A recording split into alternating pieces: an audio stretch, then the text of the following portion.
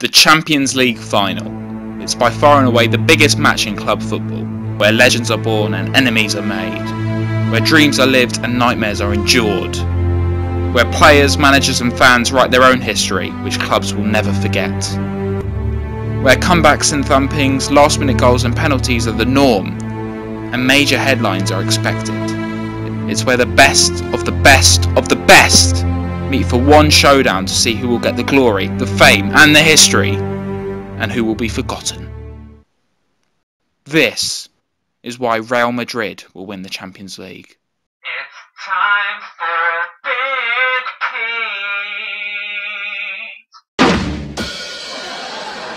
Pete. Okay, so the semi-finals are wrapped up. And we now know the Champions League final will be between Real Madrid and Liverpool. Let's start off by looking at Real Madrid's run to the final. Real Madrid came into this Champions League campaign as holders and entered at the group stage. They were drawn in an immensely difficult group with Borussia Dortmund, Tottenham and Apoel Nicosia. Real Madrid were comfortable enough with Dortmund and Apoel however, earning 12 points out of a possible 12 against them. Real Madrid weren't so comfortable with Tottenham though, who went on to win the group, as they could only draw at home against Spurs, and that was followed by a 3-1 defeat at Wembley. Still, Real Madrid qualified. However, they were given a horrible last 16 draw against a side many were tipping to win the whole tournament. PSG. Despite PSG's hype after they topped another challenging group, they could not cope with Los Blancos, who went on to win 5-2 on aggregate after winning both legs. They were rewarded for comfortably dispatching a European giant, with getting another one in the quarter-finals. Juventus came into this tie with belief after knocking out Tottenham, who had previously had the number on Madrid. However, all belief appeared to be shattered after a Ronaldo masterclass saw Madrid win 3-0 in Turin. Unbelievably, belief was restored with Juve 3-0 up at the Bernabeu heading into stoppage time. However, a 98th minute penalty was awarded by Michael Oliver, to the despair of Gigi Buffon and Juve fans. This gave Ronaldo the chance to step up and supply another big moment in a career littered with big game performances and he, of course, delivered the killing blow to Juventus and proceeded to take off his shirt in celebration. Real Madrid were drawn against Bayern Munich in the semi-final, a tie which Bayern manager Jupp Heynckes referred to as the Clash of the Giants, and Real Madrid, for a third time in as many knockout rounds, won the away leg. A 2-1 first leg win at the Allianz gave Madrid control of the tie, and despite another nervy second leg at the Bernabeu, Madrid edged the tie 4-3 on aggregate, to set up yet another Champions League final featuring Real Madrid.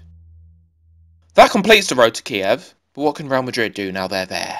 I really don't feel like Real Madrid get the credit they deserve. Whenever people talk about their campaign, they bring up the fact they finished second in their group and that they scraped through against Juve because of a penalty decision. But their Champions League opponents so far have included Borussia Dortmund, Tottenham, PSG, Juventus and Bayern Munich. Yet they've still made it to the final. You have to hold up your hands and say fair play, fair play. Now this video is about why Real Madrid will win the Champions League. And where else to start then? Cristiano Ronaldo. Real Madrid's all-time record goal scorer has once again stolen the headlines on their way to the final. And it just feels like this competition was made for him. Being a four-time winner, he's also the Champions League all-time record goal scorer. Nutty! And as to be said, he is a legend who continues to perform at the highest level. And some would say he single-handedly carried an ageing team to the final this year. Although I feel it would be very harsh to overlook other factors and say he's the only reason they've made it to the final. Another reason why Real Madrid will win the Champions League is Zinedine Zidane. The playing legend is establishing himself as a managing legend as well now. With two titles under his belt already and another final on the way, the man is yet to be knocked out of this competition. The third reason why Real Madrid will win the Champions League is experience. The players, manager, fans and club have been there and done it at this stage. Something you can't say to the same level for Liverpool. In fact, the Real Madrid squad have a combined 48 winning Champions League medals. Compare that with Liverpool's zero. And experience can help you get over the line at this stage.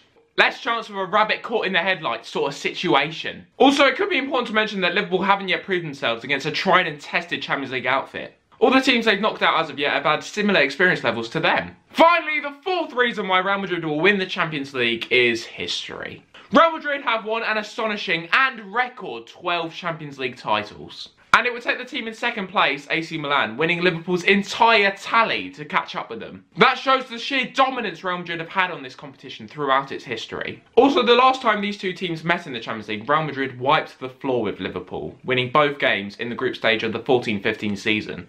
A group in which Real Madrid topped and Liverpool didn't even qualify. And Real Madrid will be hoping they come out on top against Liverpool once again on the 26th of May. And that is why Real Madrid will win the Champions League. So, thanks for watching the video, guys. I already made a video earlier in the week on why Liverpool will win the Champions League, so go check that out. But first, if you did enjoy this one, please drop a like and share so I can grow. And subscribe if you're new. I'll see you soon!